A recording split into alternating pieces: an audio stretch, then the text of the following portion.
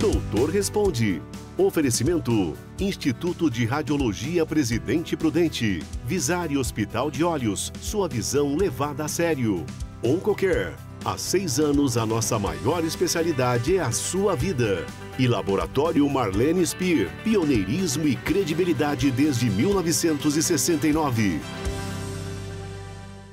Olha só essa pergunta.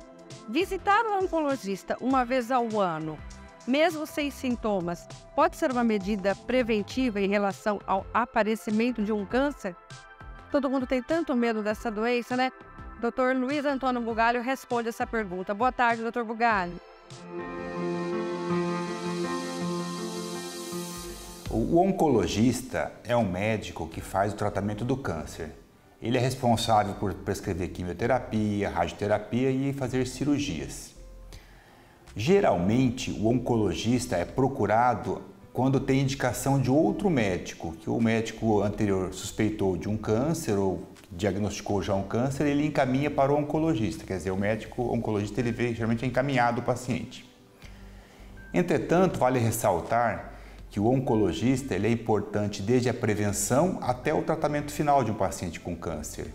Então, pacientes ou pessoas que têm alto risco na família de câncer, fatores de riscos acentuados para o câncer, devem procurar oncologistas.